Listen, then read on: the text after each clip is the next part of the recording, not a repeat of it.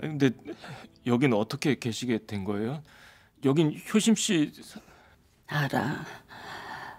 네가 참 착한 아가씨랑 만났더구나.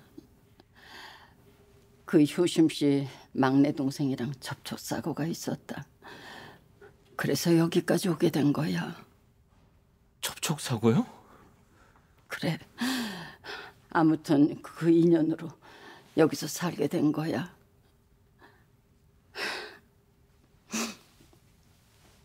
그 목도리 정말 너한테 잘 어울리는구나. 그럴 줄 알았다. 그럼 다 알고 계셨던 거예요?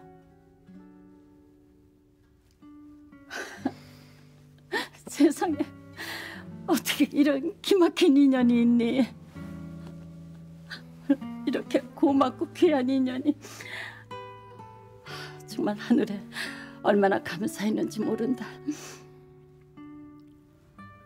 그 아가씨 참 좋은 아가씨야. 내가 여기서 다 보지 않았겠니?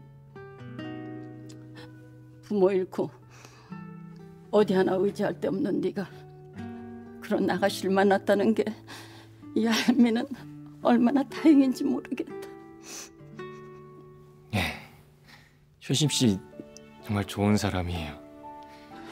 아, 처음에 거절도 많이 당했었어요. 그랬을 거야. 워낙에 올바른 아가씨니까 그랬을 거야.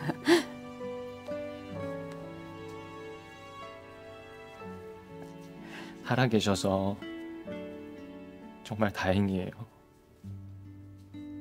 할머니 살아 계신 거 제가 좀 더 빨리 눈치챘으면 고생을 덜 하셨을 텐데 제가 죄송해요. 아, 저, 그나저나 태호야, 너 장학재단 어떻게 했니? 설마 아직도 관여하고 있니?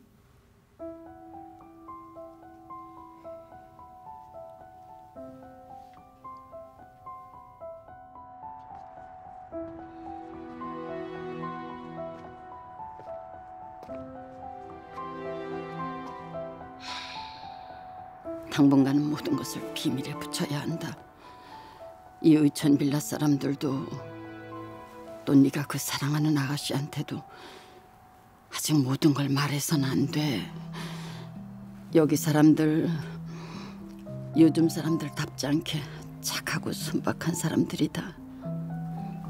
그 사람들에게 혼란을 주어서는 안 된다.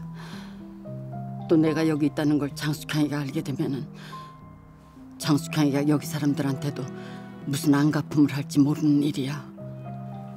그러니 태호야, 모든 걸 비밀에 붙이고 일을 진행해야 한다. 알았니?